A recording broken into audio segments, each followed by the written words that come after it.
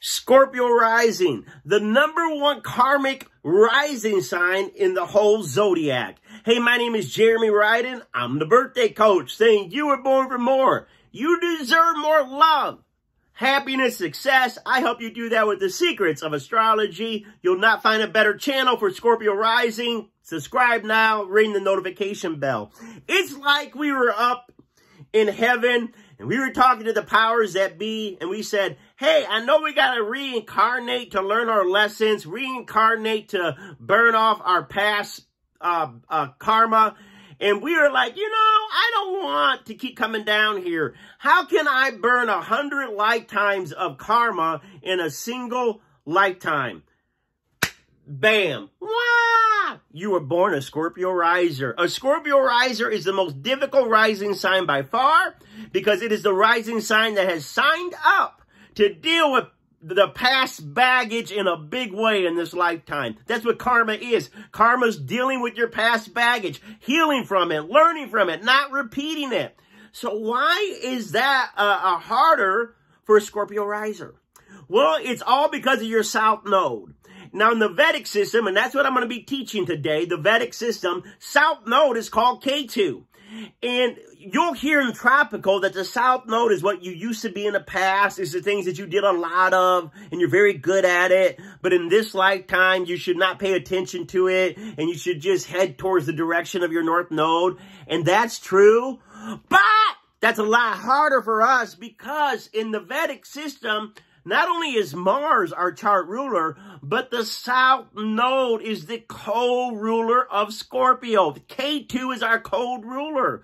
And so you can't ignore your chart rulers. You can't ignore them. You ignore them at your peril. That's why I tell people you got to exercise. You got to get in shape. Even if you were never into it before. If you're a Scorpio riser, you will not have success in this lifetime long term until you build up your physical body. Now, with that being said, Ketu is our second co-ruler in the Vedic system, the sidereal system. And, you know, like what they say in tropical. What is Ketu? It's our past. It's our past karma. It's the things that we did a lot of, but we're not here to focus on that area anymore or not focus on it in a material way, in a very straightforward way. If we deal with it, we got to deal with it in a more spiritual, enlightened, uh, easy, calm, flowing, uh, way. And, and so, this can be a huge problem for many of you because wherever we see Ketu, because Scorpio rising is a compulsive sign, it is an obsessive sign. We get something in our thoughts and we could think about it forever. We get something in our spirit and we can mull it over and go deeper and deeper in it. So, so, uh, that's hard for us because wherever our Ketu is, because it is our chart ruler, we are really going to want to get into that area eventually. We really are going to want to do something in that area. But at the same time, we got to be careful because Ketu says you can't control this area. You can't dominate this area. You can't try to make this area happen on your own. You got to be more relaxed, more carefree, and go with the flow. So what happens? Well, you'll hear many Vedic systems, whatever house Ketu is in or South Node is in, if you get too serious about it, it's going to vanish. It's going to disappear. And so that's why a lot of people get upset when they say Ketu in the seventh, because it, does that mean I'll never get married? Ketu in the fifth, does that mean I'll never date? And uh, Ketu in the tenth, does that mean I'll never have a career? No, you can get married, you can have a date, you can have a career, but you definitely are going to have to do it in a more laid back, gentle, kind, spiritual, intuitive way. You get that seventh house of the south node, many times you're connecting with past lovers or even a past, a karmic relationship. Karmic relationships hurt like hell because usually we fall in fall in love fast, right? It just feels like, oh, this is the one. And just as quick as you fall in love, you know what? Bam, this sucker blows up in your face. You know, the faster you love, the faster it falls apart many times because it's karmic. And so you're dealing with the hurt from the past and the lessons you need to learn from the past. And, and so, I don't know about you, but I don't really want that many more karmic relationships as a middle-aged Scorpio riser. So what do you do? What do you do? Well, if you had that, for example, just for example, wherever you have Ketu, South Node in, is you need to, like that rock song, how does it go? Hold on loosely, but don't let go. Hold on loosely, but don't let go. Meaning if, if, if you're in South Node in the seventh house of marriage, if you're the first one to propose and you try to try to take that dating to a marriage level, you may find out that your engagement breaks off time and time again because wherever Ketu is, it doesn't want you to major in that area. It wants you to, to recognize it, you know, pay it, you know, be honor it, but really it's the opposite side. It's that north node side that you really got to put your more energy into. So is that seventh house marriage. Uh, if, if you're trying to get married and put all your focus in the marriage, that marriage can dissolve because really the north node's now in the first saying, what's your identity? What are your goals? What is your purpose?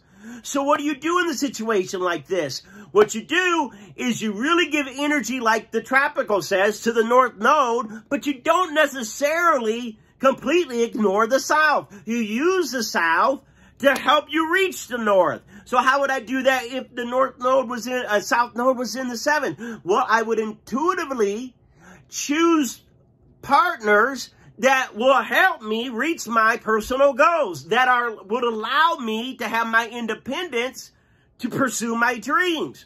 Fifth house, dating. A lot of times you're dating people from the past, and it's very karmic. Does that mean you can't ever have dating or romance? No, what it means is don't focus so much on your dating that you forget the opposite house, the 11th house of higher goals and aspirations within groups. So look for your affection to come from groups. It's okay to get your self-esteem built from your social networks that are doing goodwill on the earth. If you look for your self-esteem to be lifted up from your boyfriend or girlfriend that you're currently dating, you may lose that boyfriend and girlfriend over and over again because Ketu South Node says, listen, I don't want you to put all of your attachments, your anxious thoughts, your feeling into this house. What house do you got Ketu in? What house do you have that South Node in? Now, let me tell you something. You better get spiritual. And what do I mean by that? Man, you're yelling. Ketu in the in in trap uh, Vedic means spirituality. It means letting go of worldliness. It means seeking a higher path. Scorpio riser, I have told you time and time again. I don't care what religion you are. If you are no religion, there's a divine spark in you. There's a spark of the Creator in you, and it is your duty to nurture, protect, and fan the flames of that spark. You are God manifested in flesh. And that is a beautiful thing. And you, you got to protect your spirit at all costs. Ketu is a spiritual planet. So you got Ketu in the second house. Does that mean you have no money? No, that means you must uh, honor spiritual resources in your life. You must go ahead and seek wealth, but seek it in a spiritual way you know, which to me, there's no greater wealth than feeling connected to the oneness of God, the oneness of the universe, the oneness of spirit. You get that, uh, you know what I'm saying? Just put it anywhere. Put it anywhere. Now, there are some places the South Node likes to be and loves to be in the 12th, and it loves to be in the intuitive places, right? 8th and 4th. But you must start listening to your intuition. So this is also tricky because Mars wants to go, I want to I want to get it done. No, I won't back down. But our other co-ruler, Ketu South Node in the Vedic says, hey, you got to be spiritual. You got to be intuitive. You got to be laid back. No wonder. No wonder we're up and down so many times because there's part of us that says, I'm burning this shit down. And there's another part of us that says, I'm building this place up. God has got a sense of humor. So if you are a Scorpio riser, there are many, many karmic karmic baggage that you may be going through in this lifetime. It's it feels like punishment, but it's not. It's enlightenment.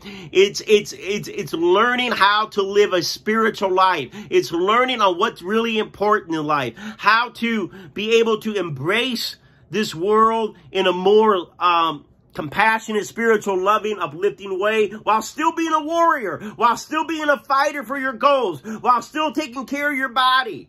So, so really we got two, not one, but two big things as a Scorpio riser. Mars says you got to take care of your body. Ketu says you got to take care of your spirit.